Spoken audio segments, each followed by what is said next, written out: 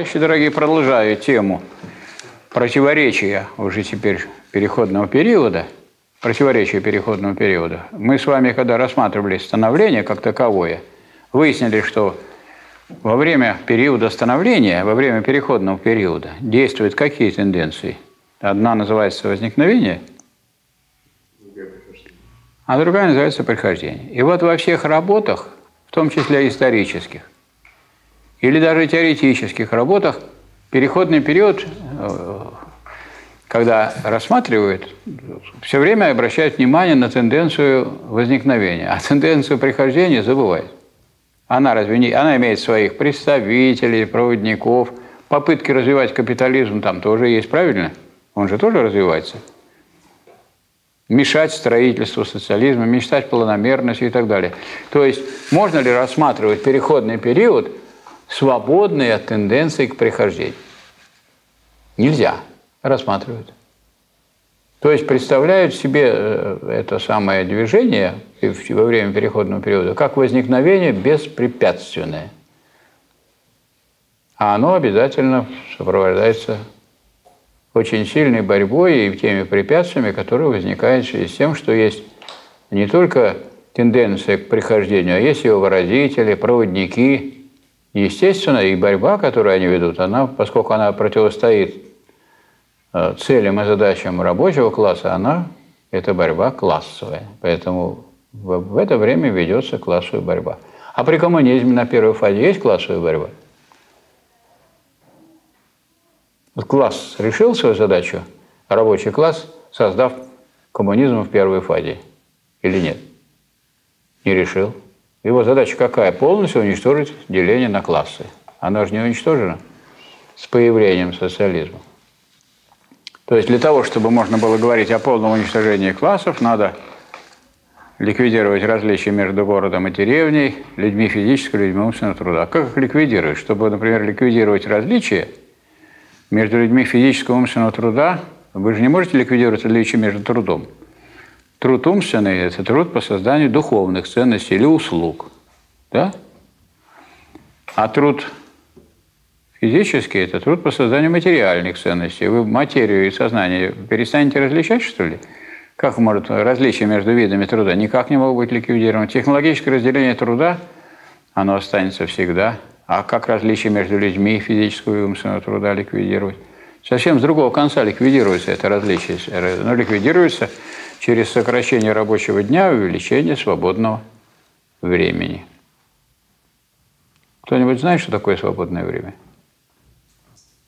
Что? Данные для собственного развития. Кем данные? Не данные, да, конечно. Ну, а? Ну как все-таки будет? Использовано. Использовано, да. Или, или короче, это время для свободного развития. Если оно получилось у вас время для свободного развития, было свободно. Если не получилось, а было ничем не занятое время, ну, это было пустое времяпрепровождение, а свободного времени не было, потому что не получилось свободное развитие. Ну, если у вас будет свободное время 5 часов, а время, занятое физическим трудом, 4 часа, в свободное время вы играете на скрипке, а рабочее время вы работаете на станке. Кто вы? Если вы больше времени работаете на скрипке, чем работаете на станке. Кто вы? Скрипач.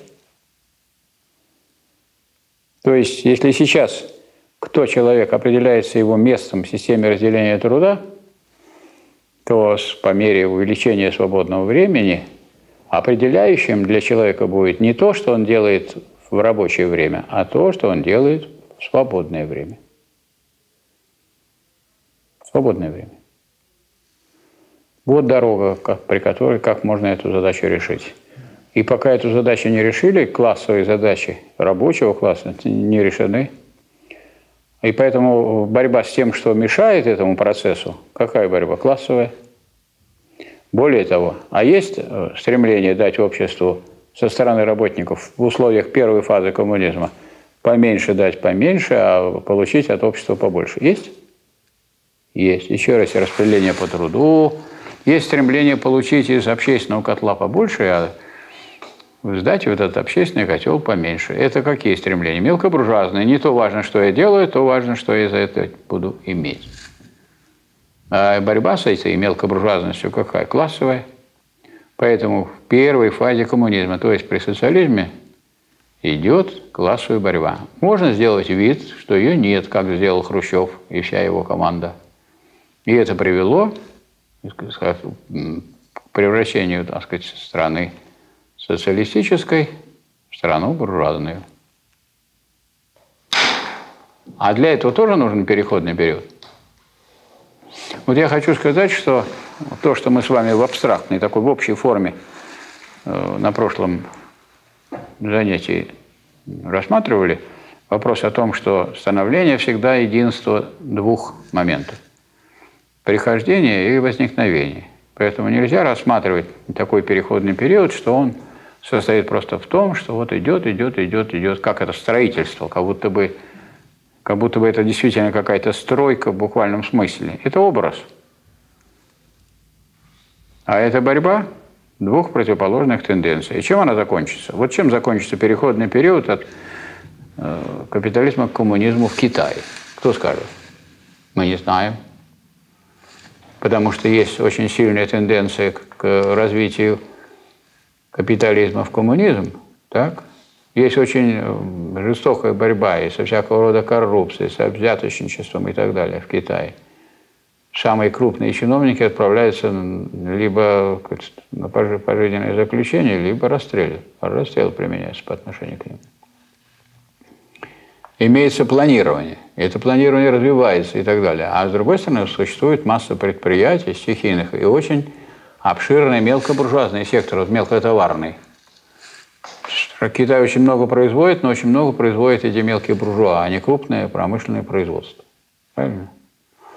Хотя есть и передовое промышленное, крупное промышленное производство, и электронная промышленность, и запускаются ракеты, и космонавты, и есть ядерное оружие. То есть это передовая страна, настоящая на первом месте в мире по объему валового внутреннего продукта. У Китая 17% мирового валового продукта, как Китайской Народной Республики, а у Соединенных Штатов Америки 15%. А в 2014 году состоялось это опережение, когда КНР превзошла США по этому показателю. И сегодня уже говорить о США как самой крупной стране, ну, не приходится. Пятая часть по территории, первая по выпуску продукции, а по населению тоже первая. В Китае 1 миллиард 380 миллионов человек. Одних пионеров в Китае, юных пионеров 132 миллиона – есть комсомол и так далее. Но можете вы сказать, что там обязательно, вот если переходный период, он перейдет обязательно к коммунизму, а может перейти обратно к капитализму? Может? Может. Та же самая Куба. На Кубе был социализм, то есть при Кастро ну, там не было частного сектора уже. Его преодолели. А потом, когда пришел его братец на руководство. Миллион рабочих перевели в самозанятых. Так это красиво называют, красивое название для мелких буржуа. Дескать, вот если вы купите козу и будете молоко козье производить на рынок, продавать, а вениками будете козу кормить, он будете мелкий буржуа. И что от того, что мы получили? Мы получили, что Куба перешла из первой фазы коммунизма куда? Переходный период – капитализма к коммунизму. А какая тенденция возьмет вверх? Тенденция возникновения или тенденция приходения? Это вопрос борьбы в каждой конкретной стране. А он зависит от личности в том числе. Одно дело, когда Кастро руководил, другое дело, когда уже не Кастро руководит. Есть Лавос, социалистическая страна, в которой переходный период от капитализма к коммунизму. А будет там коммунизм или не, не знаем – это тоже зависит от того, как будет идти борьба и какие силы возьмут вверх. Есть социалистическая республика Вьетнам. В ней 90 миллионов человек. Во внешней борьбе она победила Соединенные Штаты Америки. Соединенные Штаты Америки войну во Вьетнаме проиграли с треском, и они начинали эту войну тогда, когда был Северный Вьетнам социалистический, а Южный – буржуазный. Окончилась война тем, что освободила армия социалистического Вьетнама весь Вьетнам, весь Вьетнам теперь это социалистическая республика Вьетнам, но социализм же там не построен. Нет там первой фазы коммунизма. И там идет тоже острая борьба двух противоположных тенденций. Одной тенденции к перерастанию капитализма в коммунизм, а другой тенденции к перерастанию коммунизма в капитализм. Да, и так иначе и быть не может. Этим охарактеризуется что? Становление. Вот этап становления коммунизма, вот это для него характерно. Мне приходилось, когда я был на экономическом факультете преподавателем, доцентом, и приходилось преподавать и на матмехе, когда я преподавал политэкономию, преподавать вот этот раздел «Переходный период» – программе, во всех программах было написано «Возникновение и становление социализма». Во-первых, как-то странно записано, неграмотно. Возникновение и становление. Становление же включает все возникновение. Во-вторых, когда говорили о возникновении и становлении, о противоположной тенденции в программе никакая речь не шла. Нету прихождения. А разве есть такое? Разве может быть становление без прихождения? Не может быть. Тем не менее, тем не менее, во всем преподавании, и так было в течение всего советского периода, рассказывали, что есть положительное, что есть движение вперед, а какое есть движение назад, и какие есть силы, которые толкают назад, это вот как-то было скрыто от теоретического рассмотрения. Хотя, я думаю, что вы понимаете, что даже если речь идет о развитии, развитии, не о становлении, не о переходном периоде, а о развитии того, что уже не является становлением, а является наличным бытием, то все равно борьба противоположностей – это закон всякого развития. И противоположные тенденции есть всегда.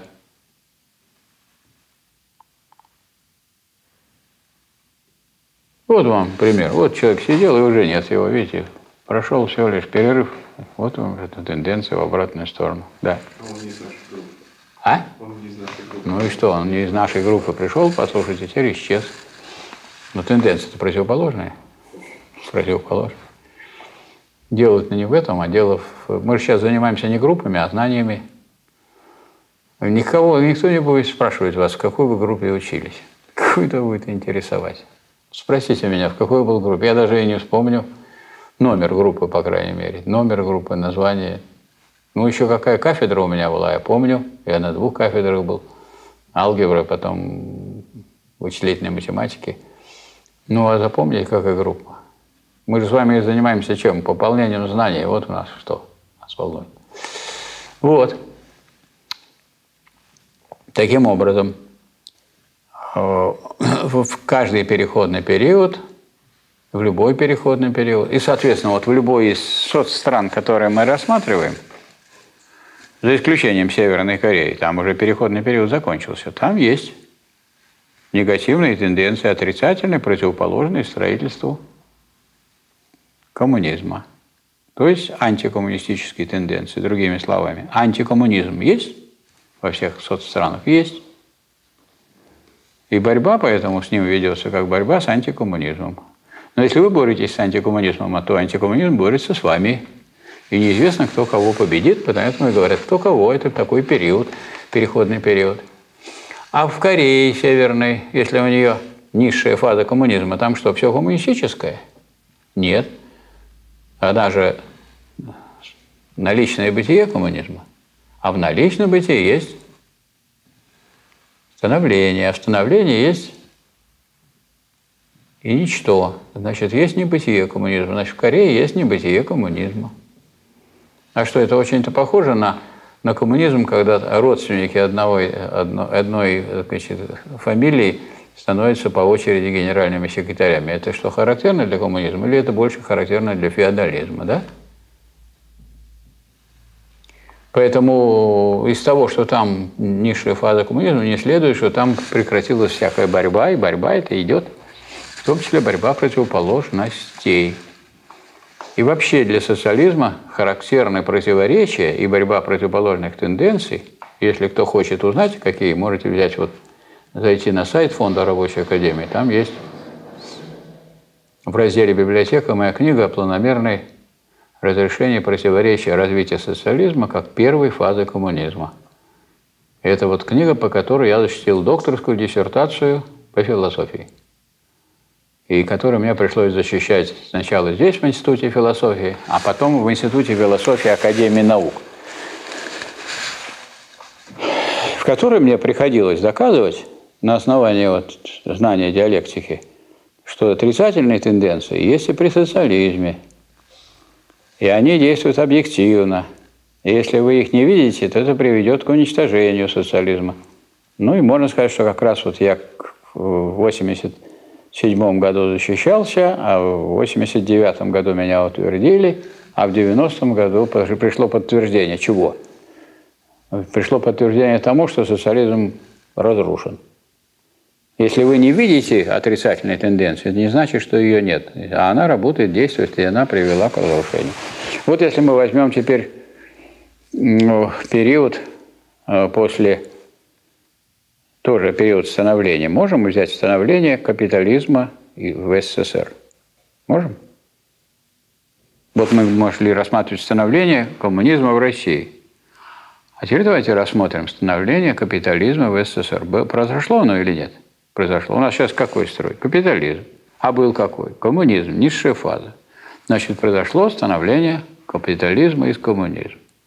И это вот понимание становления допускает такое? Допускает. В ту сторону обе тенденции противоположны. Когда началось становление коммунизм, капитализма в СССР? Вот первый вопрос, который надо рассмотреть.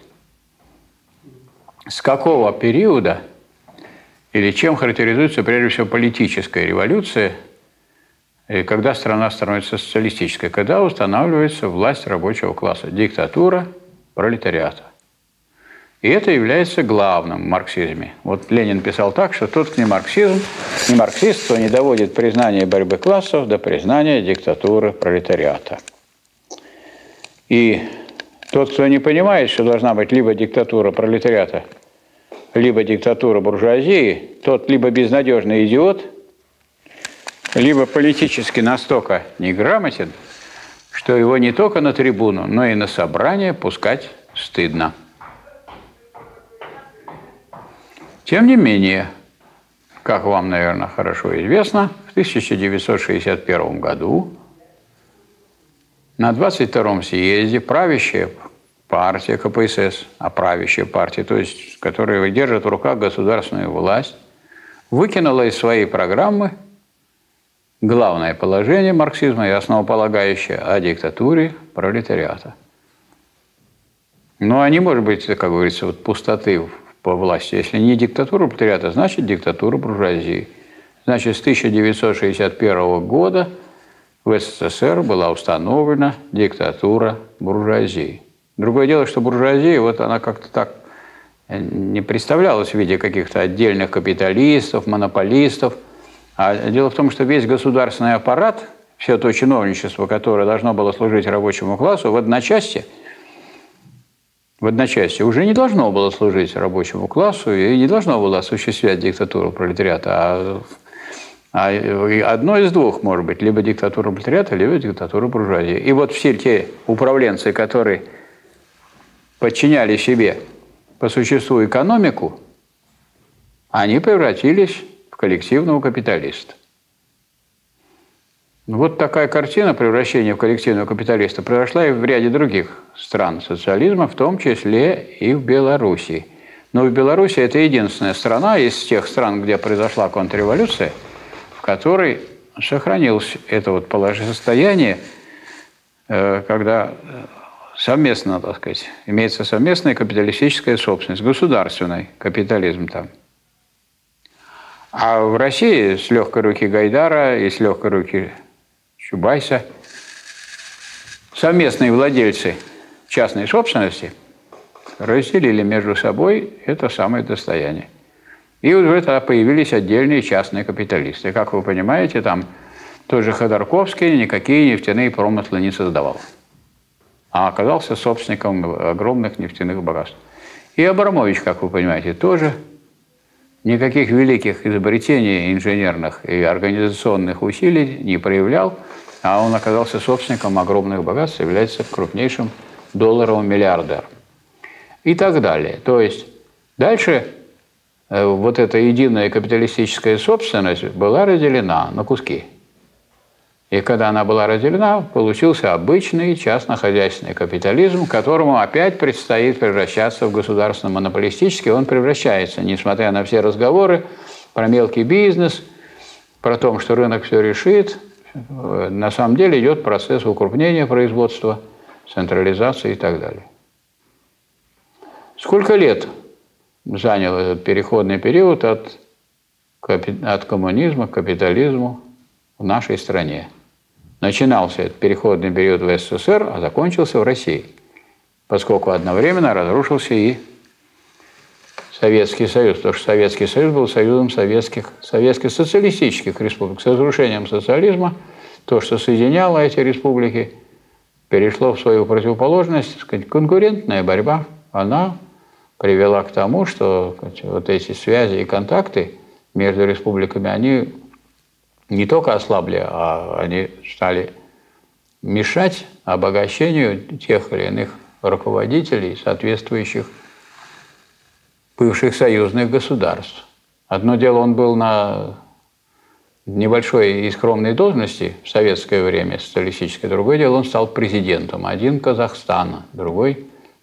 Тот же Назарбаев был председателем Совета Министров, как известно, Казахской социалистической республики или нынешний первый секретарь, э, вернее, покойный первый секретарь Узбекистана был в свое время первым секретарем Компартии Узбекистана. И они так ловко преобразовались из коммунистов в капиталистов и в руководителей капиталистических государств. Это еще раз подчеркивает, что такое становление. Становление действует противоположной тенденции. И кроме тенденции к перехода, скажем, от капитализма в коммунизм всегда действует тенденция обратная. И эта обратная тенденция себя проявила очень ярко.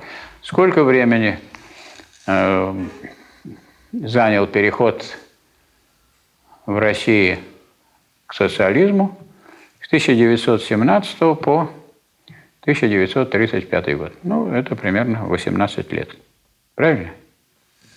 А сколько времени занял переходный период от социализма, от низшей фазы коммунизма, который был в Советском Союзе, до капитализма, который установился в 1991 году. Отнимите 61, получите 30 лет. Поэтому вот разговоры о том, что Советский Союз развалился. Как же он развалился, когда его разваливали 30 лет? 30 лет уничтожали, и через 30 лет борьбы противоположных тенденций в итоге появилась буржуазная Россия. А э, это появилось во всех странах? Нет, не во всех. В Китае этого не произошло, в Корее этого не произошло, в Лаосе этого не произошло, на Кубе это не произошло, во Вьетнаме этого не произошло. В частности, потому что, скажем, для таких стран, как Куба, Вьетнам, Лаос, Китай – для них потеря социализма – это потеря национальной независимости и превращение в зависимую полуколониальную страну.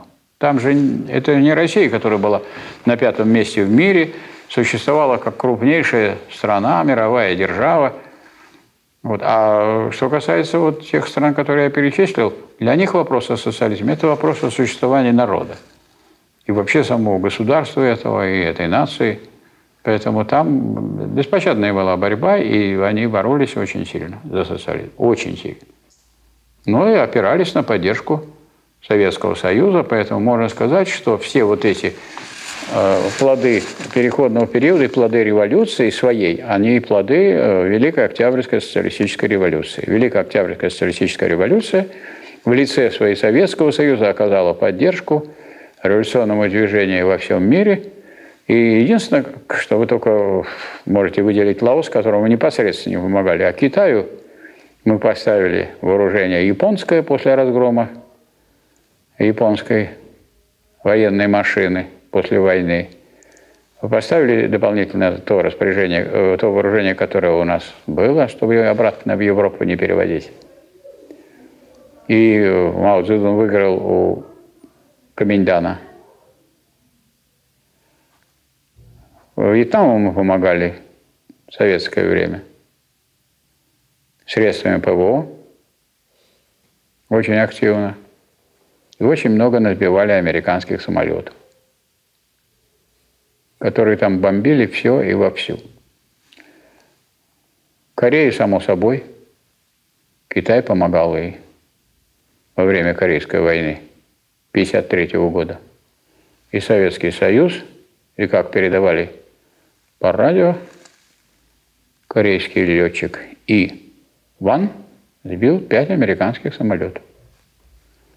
Таких вот И. Ванов там было 150 асов наших летчиков, которые блестяще сражались с американскими самолетами и успешно их сбивали. На Кубе, вы знаете, попытка уничтожить Кубу сначала на плаве Херон была предпринята, а потом была так сказать, такая так сказать, попытка окончательно военным путем решить эту проблему и противодействовал этому Советский Союз. Хотя э, вопрос тогда вставал, возможно, и о более серьезном столкновении США и Советского Союза. То есть можно сказать, что э, вот то, что мы имеем как результат, вот та часть мира, которая перешла уже в состояние социалистических государств, хотя еще социализм в экономике только в одной стране построен, в Корее, в Северной, изменила всю картину мира. Сейчас примерно полтора миллиарда населения живет в социалистических странах – это миллиард 380 миллионов в Китайской Народной Республике, 90 миллионов в Корее, 25 миллионов, ой, 90 миллионов во Вьетнаме, 25 миллионов в Северной Корее, 11 миллионов на Кубе, 6 миллионов в Лаосе.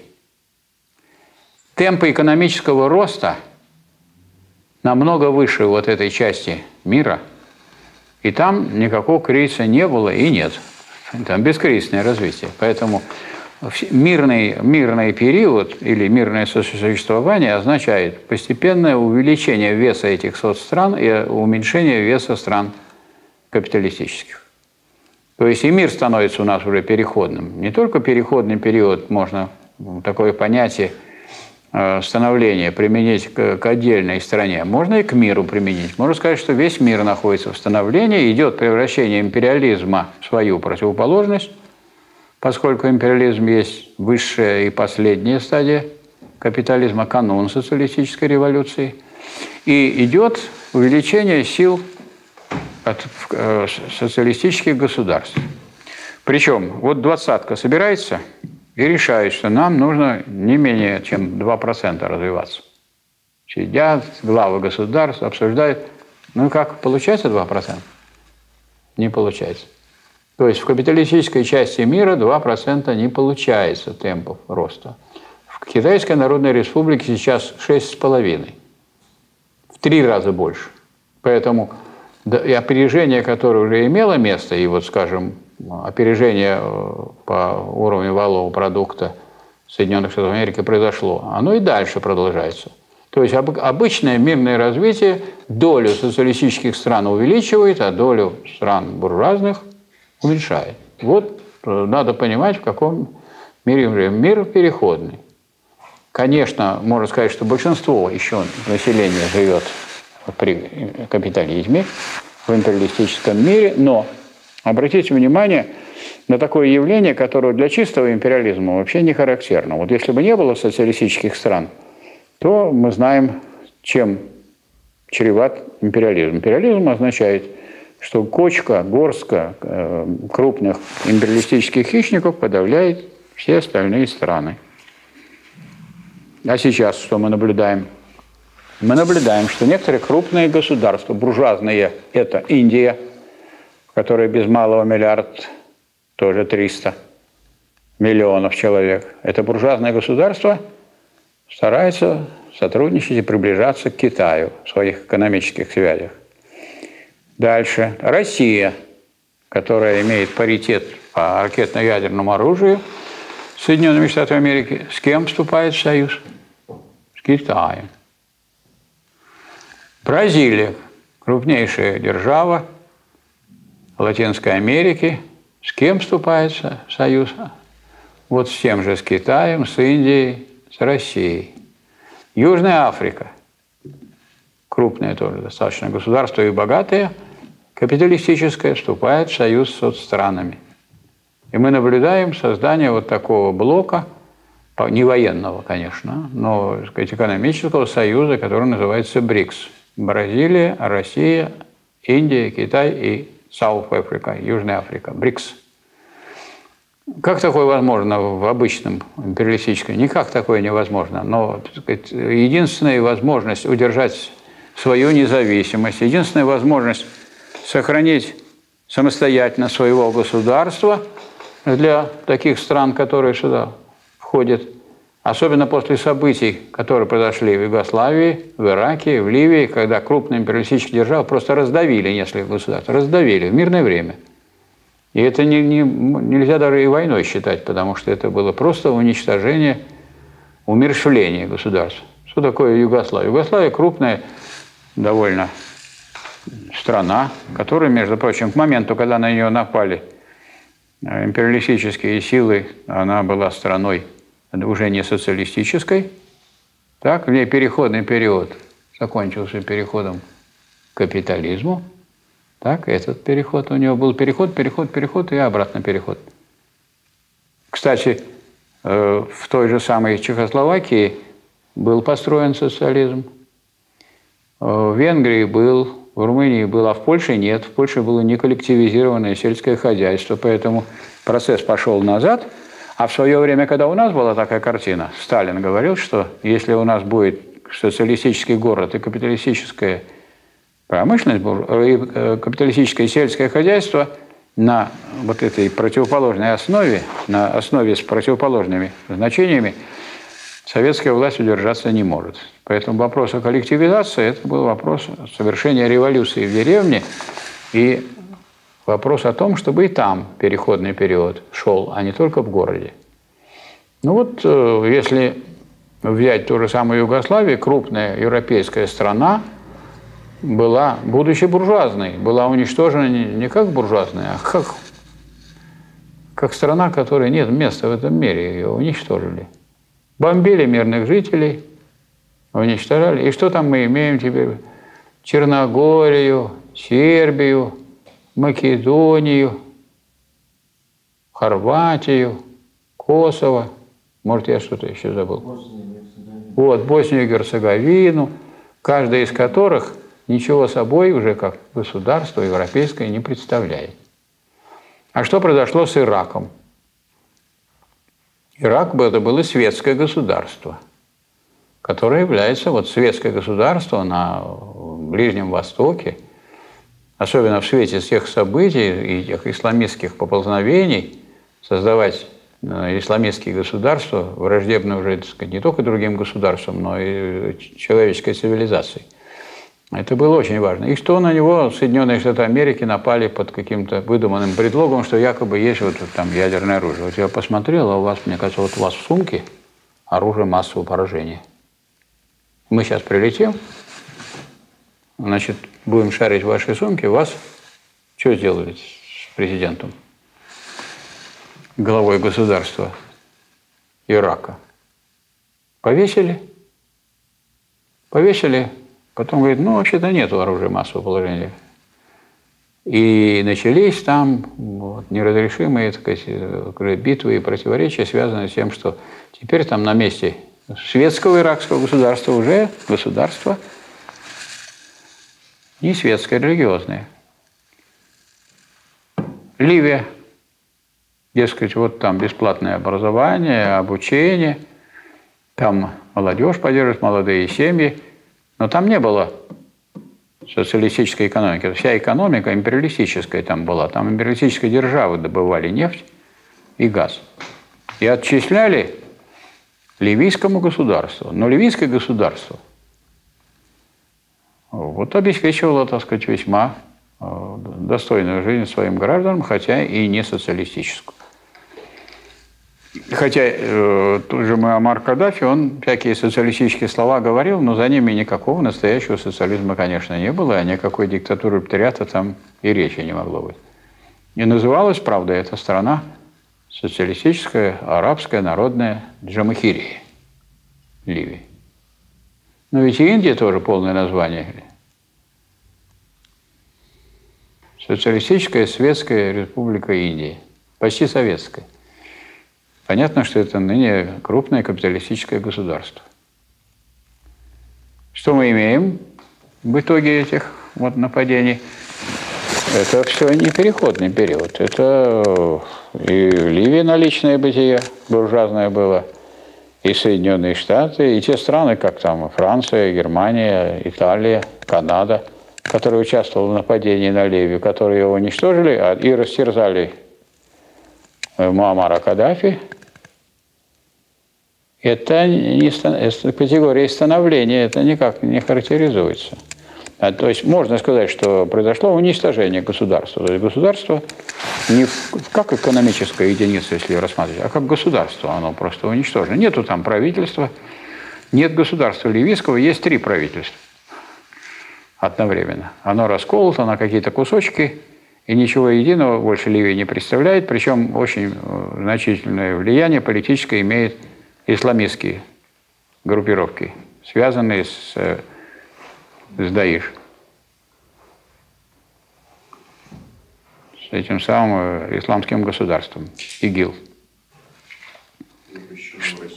А? Запрещено в России. Что-что? Добавляю, запрещено в России. А, да-да-да, обязательно, да-да-да. Запрещенные в России. Это очень важно. А то сказать, что вы тут записываете и не добавили. Понимаешь? Сразу раз запрещенный в России ИГИЛ.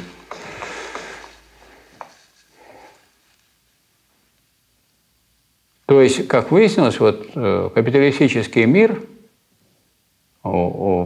который перешел к империализму, перешел к подавлению, причем к такому явлению, как фашизм на экспорт, поскольку внутри, скажем, Соединенных Штатов Америки фашизма нет, нет открытой террористической диктатуры – наиболее реакционных, наиболее шовинистических элементов финансового капитала. А финансовый капитал – это банковский, сращенный с промышленным. А по применительно к другим государствам, пожалуйста, применительно к Югославии – открытая террористическая диктатура. По отношению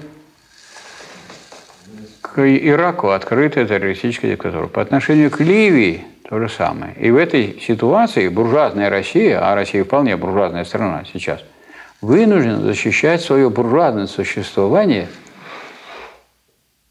поскольку у нее последнее, что у нее оставалось, там а, военная база в Сирии, и эту базу отобрали бы, и вход в Средиземное море для России был бы закрыт, а ИГИЛ подбирается к, к подбрюшью нашему через Среднюю Азию. ИГИЛ, которая запрещенная в России организация.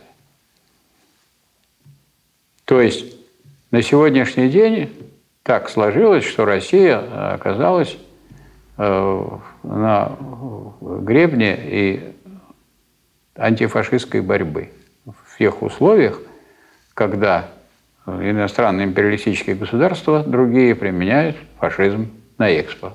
Вот сейчас так сложилось. И, и, и так это будут изучать потом. Да. Алло. Вы знаете, я вот... Э, вы можете подъехать к 13 часам? 13? Да, к 13. Нет? А, не, тогда не успеете. Я тут я через 10 минут уже уеду. А вечером вы можете к восьми часам. К восьми? Да. А, нет, я просто уеду, уеду в больницу, да. Давайте тогда пол восьмого. Ну, пол восьмого можно, да, 19.30. Ну, ну, давайте тогда вы запишите адрес.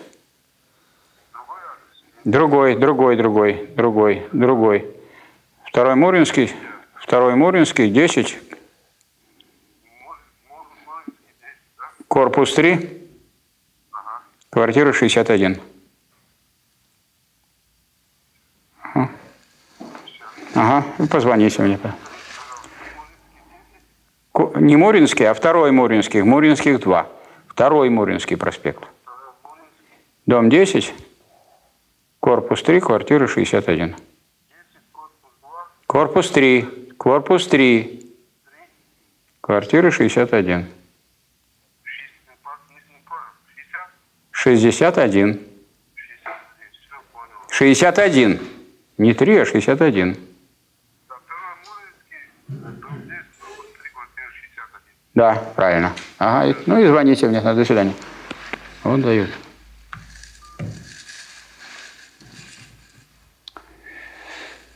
Так, вот э, что мы наблюдаем, если мы хотим увидеть становление. Когда уничтожают государство, это, конечно, становление, правильно?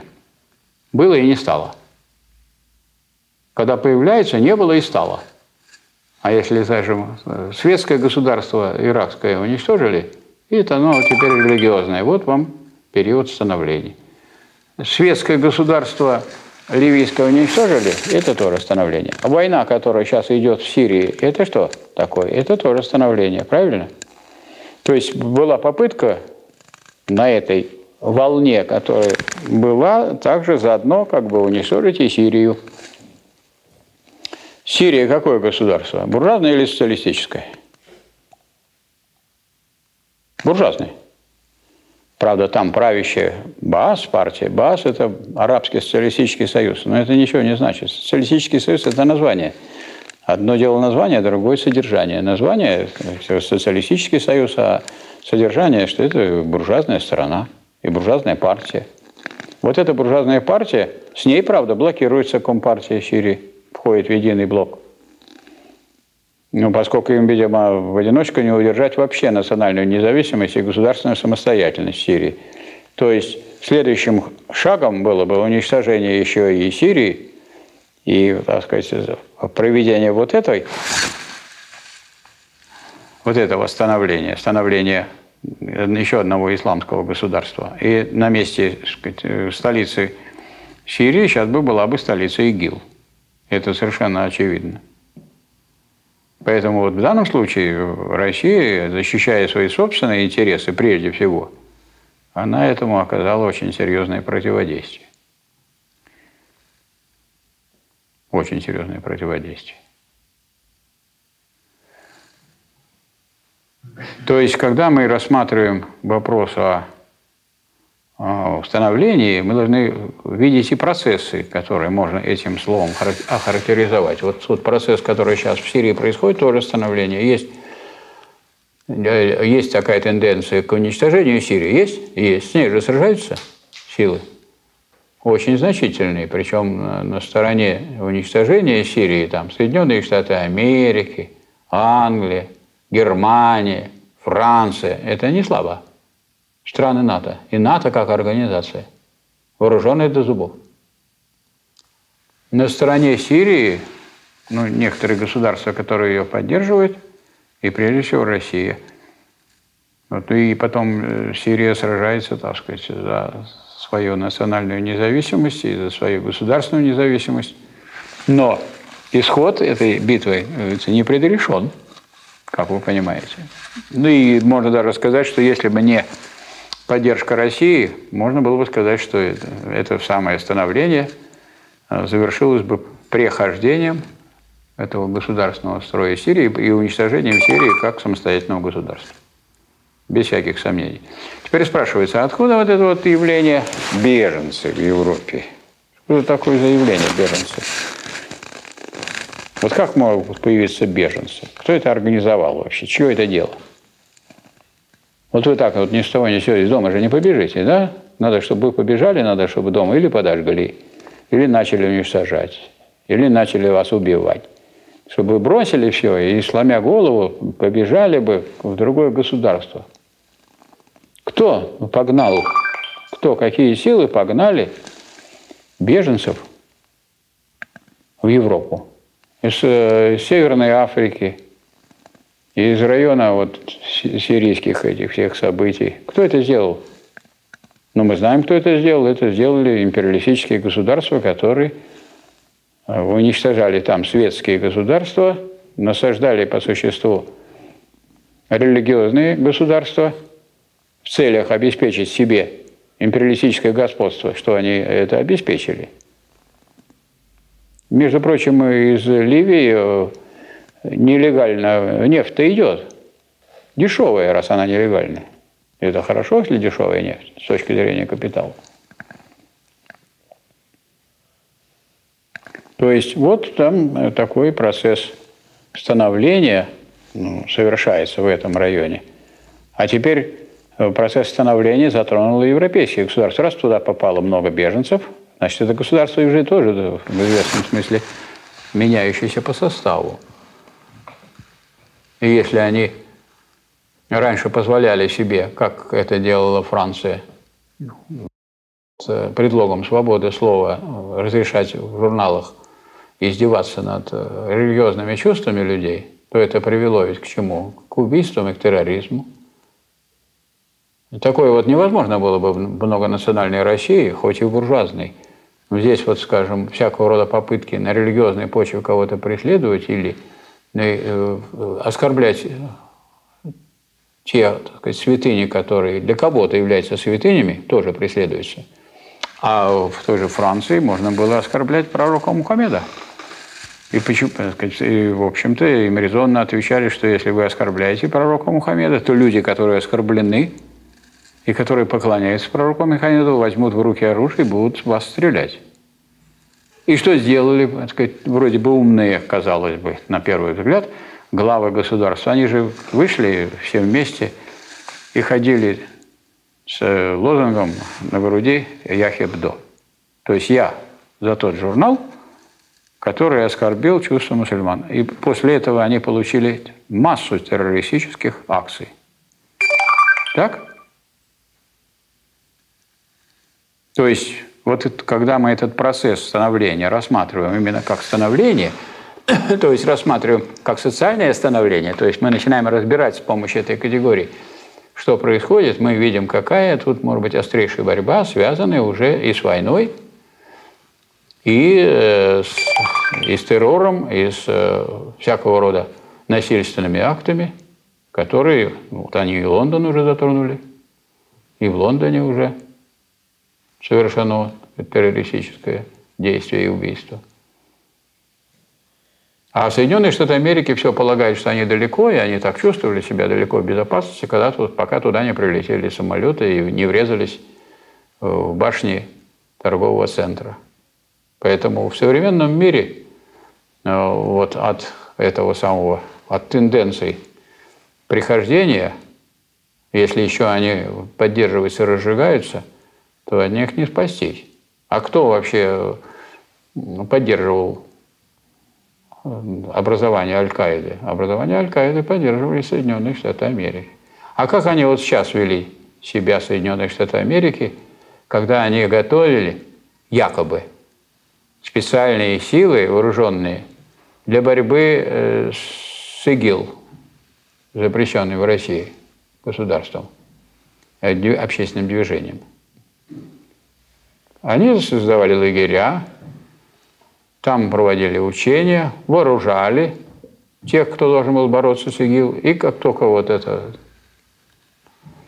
э, процедура заканчивалась, вот эти все отряды в полном боевом порядке переходили на сторону ИГИЛ вместе с вооружением. Поэтому кто подготовил так хорошо эти самые войска ИГИЛ, запрещенные в России организации? Соединенные Штаты Америки. То есть вот та категория социальное становление, которую мы с вами изучаем, она э, настолько э, универсальна и настолько всеобщая, что очень многие процессы в мире подпадают под эту самую категорию. Вот, например, война, конечно, подпадает целиком под эту категорию. А вот, уважаемые товарищи музеологи, что такое война, можете сказать? Как она определяется вообще? Что такое война? Слышали такое слово? Я не сомневаюсь, что слышали. Что такое война? Слово борьба. А? Слово борьба пойдет. Только не всякая же борьба война. То всякая война борьба, ну не всякая борьба, война. Вот борьба, например, позиций, борьба взглядов, борьба стилей в искусстве – это не война. Поэтому борьба-то точно. А борьба чего и какая называется войной. Должна каждая сторона... Революция тоже борьба. Правда?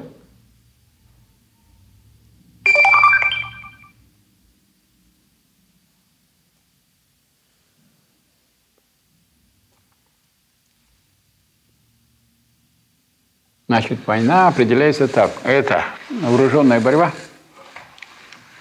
классов, наций или государств. Война – это вооруженная борьба классов, наций или государств. Вот как только мы это определение сдали, ну ясно, что это становление, правда? Потому что тут борьба Э, с неизвестным исходом еще вдобавок, правильно? Это может завершиться прихождением какой-то какой стороны. А какой? Мы не знаем. Причем таким прихождением, а вторая станет спокойным наличным бытием. Победитель. Победитель, между прочим, потеряет тоже. Иногда говорят, тут выражается, как добился, вы добились победы. То есть вы со мной боролись, и без рук, без ног остались, победили, добили себя, добились.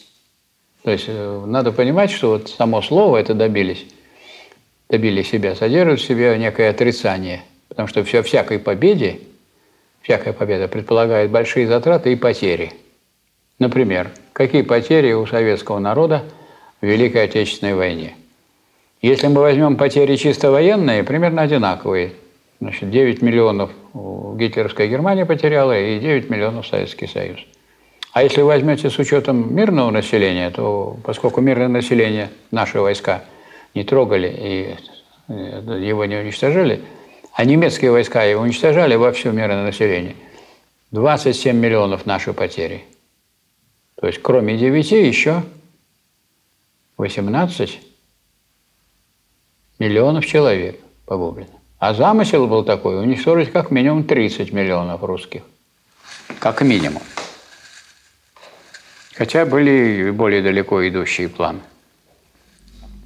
Вот война является вот такой формой класса борьбы. И вот мы сейчас живем в такое время, когда все время есть войны. Вот я вот напоминаю, в Югославии это была краткая война на уничтожение. В Ираке война тоже очень быстрая с таким перевесом сил набросились на э, эту самую, на Ирак. В Ливии, ну, Ливия маленькая, небольшая страна, нет, там же были соединенные силы. Многих-многих империалистических государств тоже война. И это все вот наше время. В Сирии сейчас идет тоже война.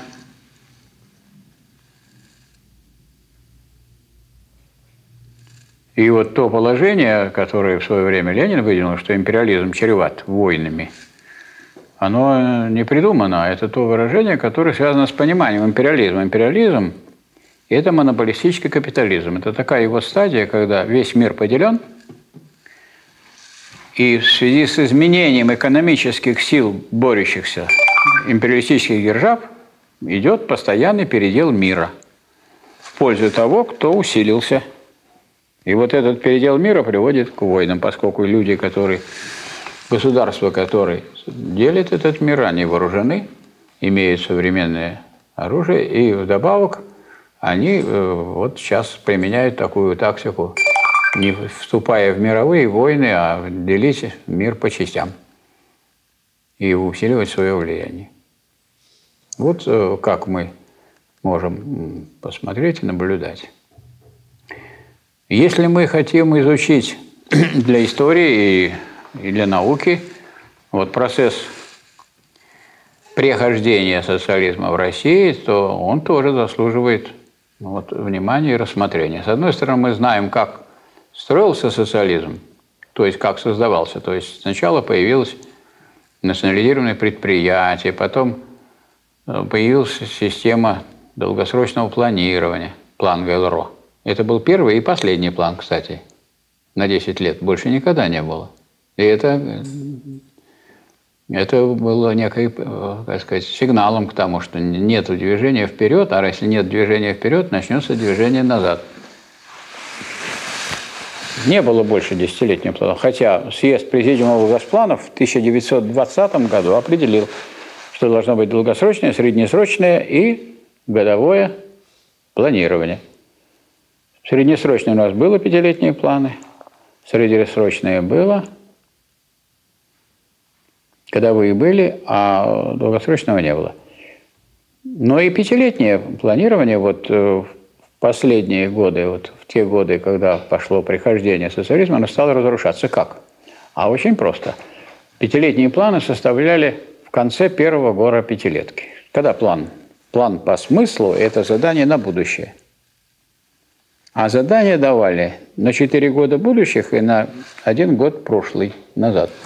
То есть последние пятилетки составлялись в конце первого года пятилетки, следовательно, план на второй год пятилетки уже исходил не из пятилетней заданий пятилетнего плана, а исходил из итогов первого года, который был вообще вне пятилетки и вне плана пятилетнего. То есть поэтому пошла эта стихия. В экономической науке возникли такие концепции, как вот у Бунича, что можно считать выполнением плана, если 10% не выполнено и премии платить за выполнение плана при 10% невыполнении. И Бунич в журнале «Вопросы экономики», член-корреспондент Академии наук, опубликовал статью под названием «Допустимое невыполнение плана». А вот представьте себе общественный характер производства, который был в Советском Союзе. Если, скажем, одно предприятие поставляет сотни других, и эта сотня, соответствующая каждой из них сотни других – если у вас на 10% не выполнено какое-то, какие-то, значит, по каким-то деталям э, задание плановое, то значит цепная реакция выполнения распространяется по всей экономике. И происходит обрушение планирования, обрушение этой плановой экономики. А какие этапы вот прошло это прихождение? Обратите внимание, что вот в работе Сталина экономические проблемы – социализма, социализма в СССР специально говорится о том, какую роль играли машино-тракторные станции в деревне. Вот э, производство тракторов было одновременно, так сказать, расширялось с э, проведением коллективизации. И эти трактора были в собственности государства. И соответствующие другие механизмы. И вот машино-тракторные станции – это были государственные предприятия на селе. То есть на селе а, государственная собственность была в виде совхозов и в виде машино-тракторных станций. И наличие совхозов, которые было, было, давали альтернативу по выпуску такой же сельхозпродукции, как у колхозов, на случай, если колхозы будут отказываться что-то выпускать. И концентрация техники в машино-тракторных станциях э, давала возможность управлять процессом сельскохозяйственным, в том плане, что если вы совершенно свободны выбирать э, вид продукции, скажем, вид культуры сельскохозяйственной для производства, то машино-тракторная станция тоже в состоянии выбирать. Если вот гречиху будете сажать, мы вам технику дадим. А если не будете гречиху давать, мы вам не дадим. Вы свободны, мы свободны. То есть на том языке, который был понятен и доступен крестьянам, э, их направляли в русло осуществления общественных интересов. И благодаря этому кооперативная собственность была не просто кооперативной частной собственностью, а была кооперативной формой общественной собственности. И в Советском Союзе сложилась такая вот система полномерного подчинения производства общественным интересам. И в городе, и в городе, и в деревне. С чего он начал Никита Сергеевич Хрущев с уничтожения машино-тракторных станций? Как? Их технику их уничтожили, а технику продали колхозам. Колхозы вовсе не собирались покупать технику, потому что техника дорогая. Никакой э, базы для обслуживания этой техники в колхозах нет. Единственное, что могли сделать колхозы после как им навязали, и тем самым их э, очень сильно разорили. Никакой другой, э, другого, никакого другого способа, как из двух комбайнов потом делать один – из трех тракторов тоже делать один или два, никакого другого способа не было, и пошло разрушение сельскохозяйственного производства. Второе. Вы, наверное, помните это, иначе не скажешь, как идиотский эксперимент с кукурузой, когда эту кукурузу, которая у нас везде, где были линейные условия, и так росла, но эту кукурузу стали высевать, ну, где только можно, в том числе на южном берегу Северного Ледовитого океана –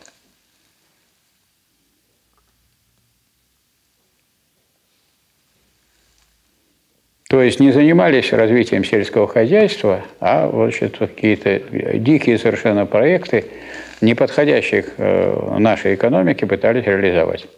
Вместо того, чтобы развивать земледелие в европейской части, занялись вот распахиванием огромного массива земель в Казахстане, которое потом превратилось в, в такой массив с мощными бурями, которые сметали чернозем – сметали верхний слой почвы именно из-за того, что э, вот это образование крупных полей не было связано с соответствующими посадками, которые бы защищали от уничтожения, от эрозии и так далее. А сельское хозяйство стало э, в европейской части умирать. Наверное, вы э, отдаете себе отчет в том, что вот в современном нашем государстве – молока производится гораздо меньше, чем раньше проводилось. Но зато вам могут дать однопроцентное молоко, чтобы вы не толстели. А обычное нормальное молоко, сколько процентов? От 4 до 6. Вот оно идет сначала на сепарацию, а потом то, что называлось раньше обрат, обратно везли в колхоз – однопроцентное молоко и поели им телят. Теперь им поют э, женщины, говорят, давайте вам полезно однопроцентное молочко, вы не растолстеете, потребляйте это молоко. А молочный жир, который раньше у нас присутствовал во всех кулинарных э, продуктах и в кондитерских изделиях, удален оттуда и заменен чем? Пальмовым маслом, кокосовым, масло ши и так далее. А почему? Ну, у нас цель производства какая сейчас? Прибыль. Вот я капиталист. Я делаю кондитерские изделия. Значит, э, молочный жир в пять раз дороже, чем вот это самое пальмовое масло. А пальмовое масло везут в Африке, там, где нещадно эксплуатируют негров африканских. И вот они там вытапливают это самое в железных бочках. Этот самый жир, и его тут везде тут распространяют – потому что это золотое дно для тех, кто производит изделия. Казалось бы, если вы приобрет, применяете более дешевые ингредиенты, цена должна упасть. Но цена-то у нас монопольная. Сейчас монополистический капитализм. Поэтому цена остается прежней, а затраты становятся меньше, прибыль становится больше. И больше становится у нас долларовых миллионеров. У нас долларовых миллионеров за прошлый год прирост был 10%, а долларовых миллиардеров – 11%, тогда как прирост долларовых миллионеров в мире всего лишь 3%, а у нас в три раза больше, с лишним 10. А в Европе прирост долларовых миллионеров отрицательный, минус 4. На 4% меньше стало за прошлый год. А мы впереди. Ну так вот, понятное дело. Так можно получать деньги.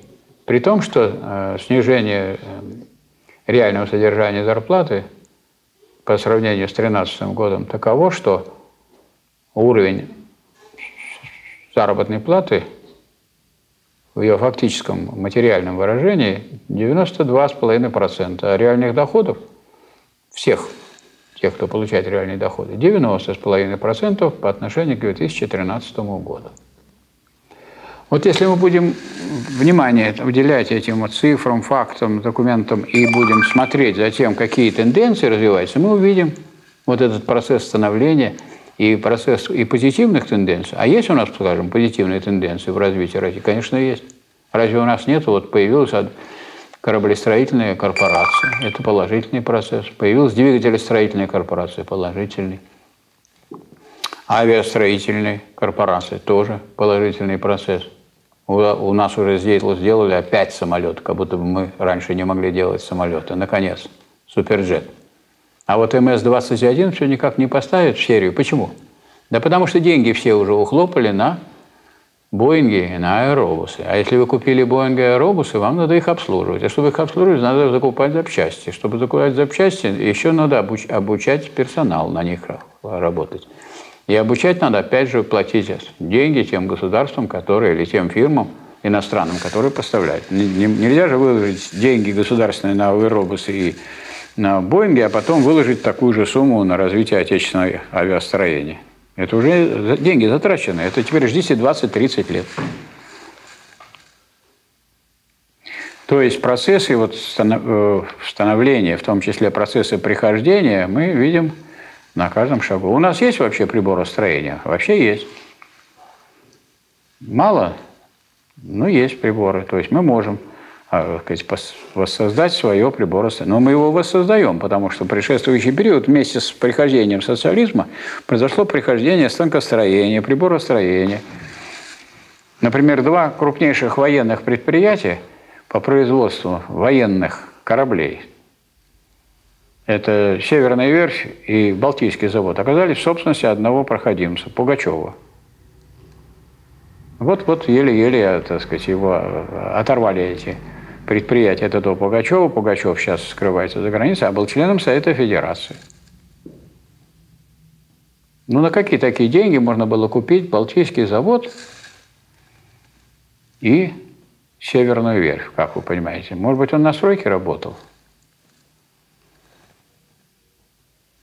Может, он э, вечерил сверхурочно? На какие деньги?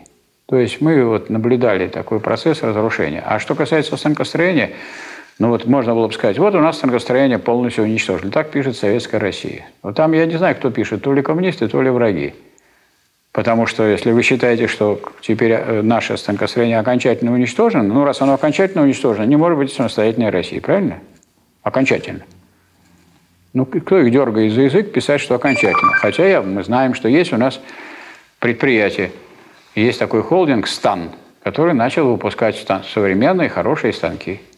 Их мало, их несравнимо мало по сравнению с тем, что было в РСФСР, но есть они. То есть не в таком состоянии России, что у нас вообще нет никакого потенциала для восстановления. Есть потенциал для восстановления, и есть процесс восстановления. У нас есть банки, которые превратились в ростовщические конторы, потому что банк по определению банков – это такая организация, которая временно свободная по обслуживанию производства, которая временно свободные денежные средства накопляет и передает их туда, в производство, где есть временный недостаток, за среднюю норму прибыли. А у нас что такое банки? А у нас это, это ростовщические конторы, которые берут дают, берут деньги в Центробанке, и, которые они сами не, не, не накапливали, не создавали, берут в Центробанке по ключевой ставке, добавляют свои 7% и дают кредиты. И за счет этих процентов и живут. При этом, поскольку они бешеные дают проценты, под бешеные проценты деньги, эти банки один за другим закрываются. И, и надо было бы их и по делам все закрыть или превратить в отделение одного банка, снизив ключевую ставку до того уровня, который хотя бы есть, как в Америке. Знаете, какая ставка в России и какая в Америке? Ключевая ставка в России сейчас 9,75%. С обещанием каждый квартал еще на 0,25. А к ним еще добавляется 7 коммерческими банками, получается где-то около 17. А норма прибыли у капиталистических предприятий, ну, 3, 5, 7, 8, 9, ну, 10. То есть всяко меньше не отдать.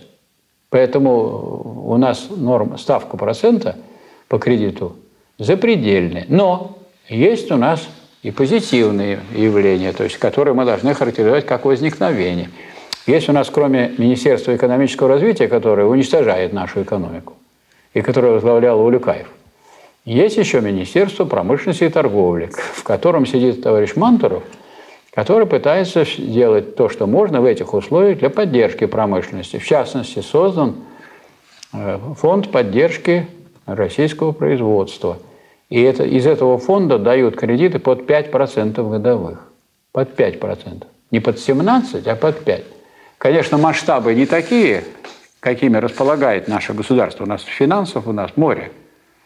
И мы, так сказать, вечно куда-нибудь отдаем еще за границу на хранение под 2%. Но тем не менее, вот э, поддержка ряда передовых и нужных производств осуществляется, в том числе оборонных, через фонд поддержки нашей промышленности. Поэтому вот если мы изучаем вот, социальное становление и начинаем рассматривать самые разные стороны нашей жизни, как вот переходный период, как сейчас уже не переходный период, то мы, тем не менее, вот эти становления, переход от одного к другому, возникновение и прихождение наблюдаем – в самых разных областях, и прежде всего в области экономики очень широко. И этим характеризуется тот процесс, который был. А что касается переходного периода 30-летнего, мы там наблюдали, как демонтировался постепенно, демонтировалась вся система планового управления народным хозяйством. Самый крупный шаг был в 1965 году, экономическая реформа, которая вместо ключевого показателя, основного, снижение себестоимости, которое требовало научно-технического прогресса, требовало э, понижения цен, э, повышения дисциплины, умелости работников, прибыль, рентабельность объем реализации. Ориентировка только на стоимостные показатели, с которого началось вот это явление, как постоянный рост цен, который опрокинуло вообще систему социалистической экономики. При э, Хрущеве были уничтожены централизованные министерства под видом создания совнархозов, как при Ленине. Так при Ленине они были, потому что еще не была создана система централизованного плана управления экономикой. И вынуждены были управлять, как говорится, на местном уровне через совнархозы. А здесь было это разрушено. Система централизованного управления экономикой. Система планирования разрушена, план тоже – госплана уничтожен. Гос... Где сидит Дума? В здании госплана.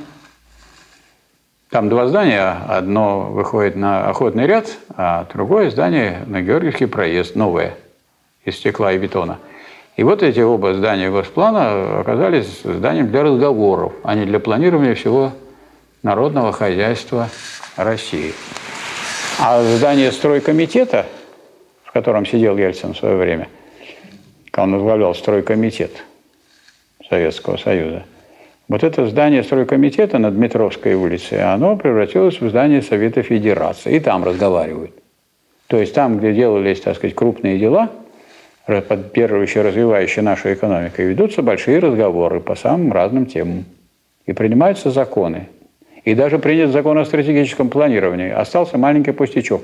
Нету плана. И вот наше государственное хозяйство экономическое, государственный сектор, в котором 70% всей нашей экономики сосредоточено, не имеет плана. Хотя любая государственная монополия, любая просто монополия имеет план на единую собственность. А у нас этого нет. А у нас по-прежнему, как вот в период НЭПа было э, госкапитализм, когда каждый плывет сам по себе, не имея никакого направления. Отсюда и темпы роста на уровне 0,8 с большой натяжкой. И после передачи органов статистики Министерству экономического развития, которое научит правильно органы статистики считать, чтобы сверху не, ругались, чтобы э, цифры были неплохие. Потому что есть малая ложь, большая ложь и статистика. И эту функцию статистики мы тоже знаем. Вот какие соображения – можно принять во внимание, если мы хотим э, увидеть, насколько широко распространяется эта категория, насколько она всеобщая, насколько она э, всеобъемлющая и применима к самым разным областям нашей деятельности. Социальное становление. Спасибо за внимание. Спасибо.